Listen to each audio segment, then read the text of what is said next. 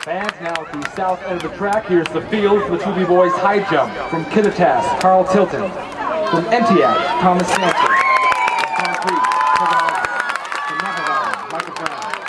South Bend, David Morton. From Evergreen Lisbon, Roland Reddy. Yale, Joey Bennett. Christian Faith, Jordan Wentworth. From White Pass,